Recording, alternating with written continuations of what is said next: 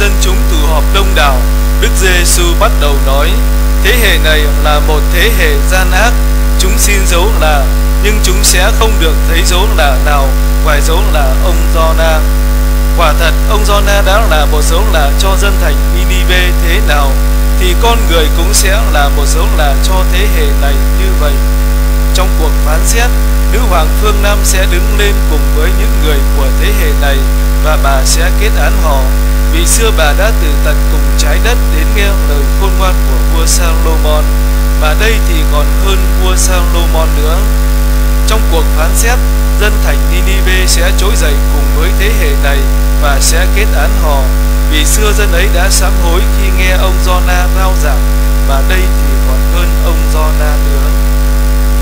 Đó là lời Chúa.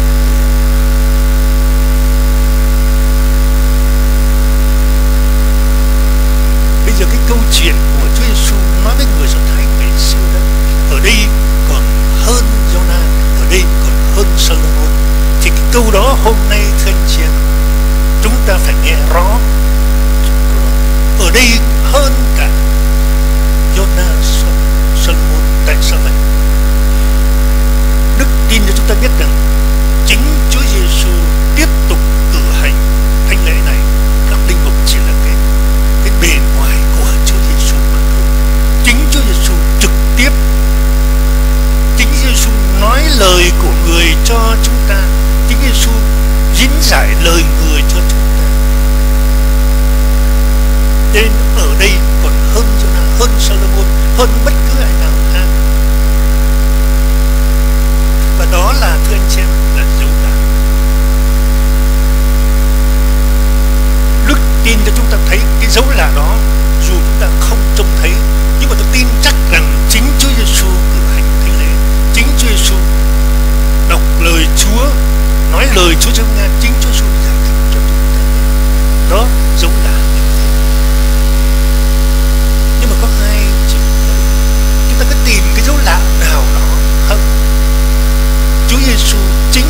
dấu là cho người do thái ngày xưa. Và ngày nay, dấu là nó còn mạnh mẽ hơn nữa. Bởi vì ngày nay Chúa Giêsu hiện diện không những trong phục vụ mà hiện diện trong từng con người này. Có mặt hết. Và Chúa Giêsu nó luôn tác động tác động, soi sáng, mời gọi, thúc đẩy chúng ta. Nhưng mà chúng ta có nghe theo không? Có sẵn sàng không? Hay là tự mình định ra một cái chuyện như thế này hàng ngày tôi đi lễ rất lễ đọc kinh Phật đủ rồi dường như đủ rồi chỉ cần đến đây đi lễ rất lễ thôi đâu không chưa đủ chưa đủ thêm chuyện đừng so sánh mình với người khác cái đó mình hãy đặt mình trước những ơn của Chúa những đòi hỏi của Chúa những chờ đợi của Chúa cho bản thân của mình bây giờ mỗi người chúng ta tự hỏi tôi có cần phải thay đổi đời sống không Chúa đã có chờ có mong muốn tôi thay đổi đời sống nên tốt hơn không đấy mỗi người thử trả lời xem có không và tôi bây giờ tôi phải thay đổi như thế nào đây cầu xin Chúa rồi quyết tâm tôi nói lại phải làm cái gì một cách rất cụ thể cụ thể đó quyết tâm đó là một chuyện tốt rồi nhưng mà cụ thể ra bên ngoài cái gì đó để gọi là hãm mình một chút ép sắc một chút để tôi trở nên tốt hơn như lòng Chúa mong muốn. Dấu là Giêsu vẫn còn đó không hề thiếu vắng, không cần chờ đợi. Phép lạ này, phép lạ khác.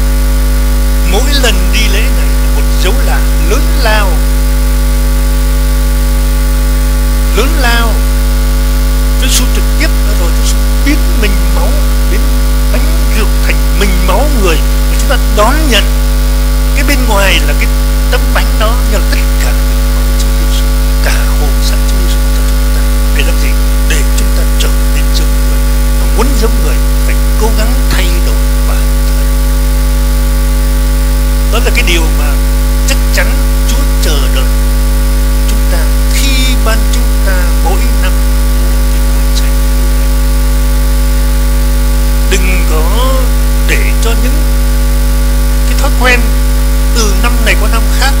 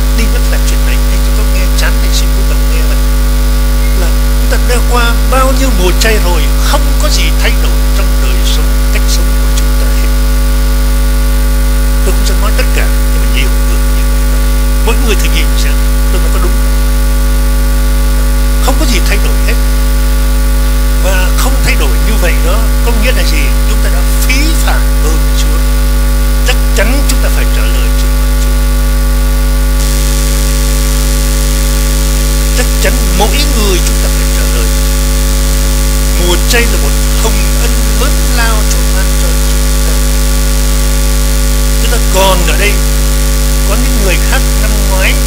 Cùng đi bây giờ không còn, nó không thể hưởng thêm một cuộc chơi khác còn tôi còn hưởng thêm một cuộc chơi nữa. Nó đừng để phí thả đi. Hãy lợi dụng